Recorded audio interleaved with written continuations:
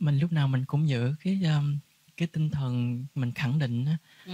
um, nhưng mà xung quanh mình cái lưu lượng phủ định của nhiều người Ừ. thường um, hay xung quanh để tác động đến mình nhiều Biết. nên đôi lúc làm cho mình rất là mệt um, nhưng mà lúc nào mình cũng keep mình giữ cái sự um, khẳng định đó Ừ.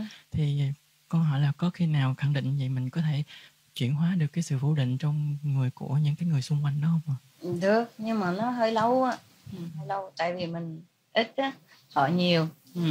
thế giới này thế giới của họ ừ. chuyển từ từ mới được ừ.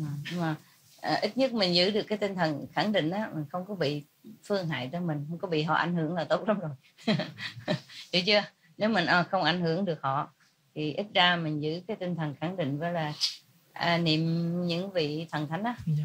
bảo hộ cho mình thì mình không bị họ ảnh hưởng xấu Dạ. cũng tốt lắm rồi ok ha Dạ. Cảm ơn sư